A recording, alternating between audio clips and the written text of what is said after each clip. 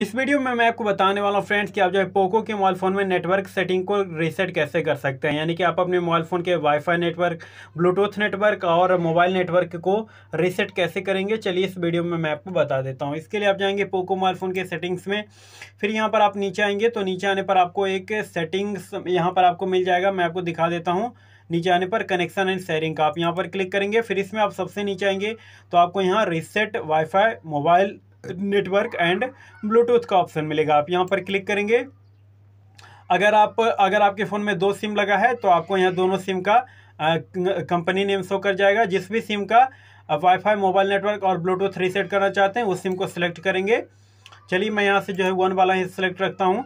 और रीसेट करने के लिए देखिए यहाँ पर आपको नीचे यहाँ रीसेट सेटिंग का ऑप्शन मिलेगा। आप यहाँ पर क्लिक करेंगे, फिर आप यहाँ ओके पर क्लिक कर देंगे। आपके मोबाइल फ़ोन का नेटवर्क सेटिंग रीसेट हो जाएगा।